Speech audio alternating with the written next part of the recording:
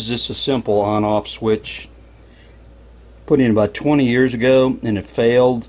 It's in a cabin and it hardly has had any usage. I had another one that failed the same way. Um, what happens is that bugs and stuff will find themselves in some cracks like this and I'm not sure if they're attracted to the electricity. The switch is normally off and they just get impacted around the contact. So maybe it's warm or it's ants or whatever.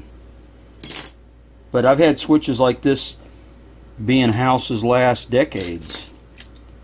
And what they do, this is just a bunch of little pieces of ants and junk. They crawl in through the back of the switches and they just pack themselves around the contact for some reason and I guess they get fried because that's open. And then there's more and more that are on there.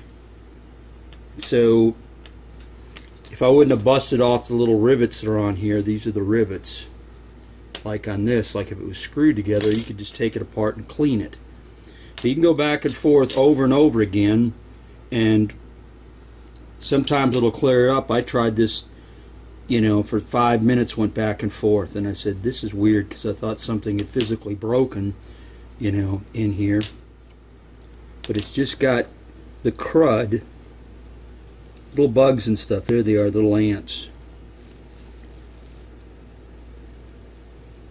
It just impacted in there.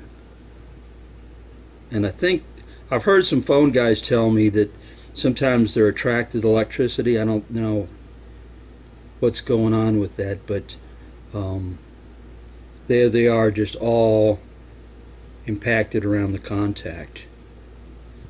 Of course, this rocker here goes back and forth. Just pushes down on here. And I just kind of took a pair of pliers and busted this open. It's put in about 20 years ago this cabin doesn't get used. It's just a switch that runs a fan um, to pull some exhaust out, uh, out of an attic. And it's just got gobs and gobs of bugs. And I had one that was with a pilot light I replaced, just like this. It was a switch plus a pilot light that let me know that was a socket was live on the outside. And it was about 20 years old and it failed. I replaced it last year it was the same darn thing. So you just wonder if you had a compressed air you blew in here, you might get some of that out, but it's just completely full of crud.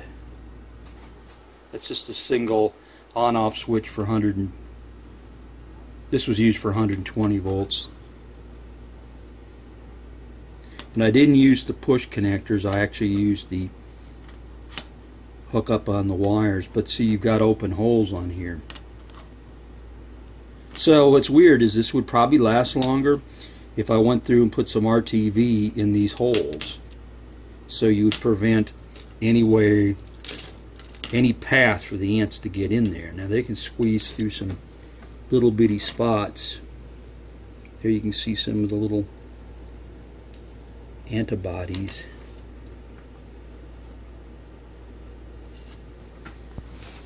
It's just bizarre.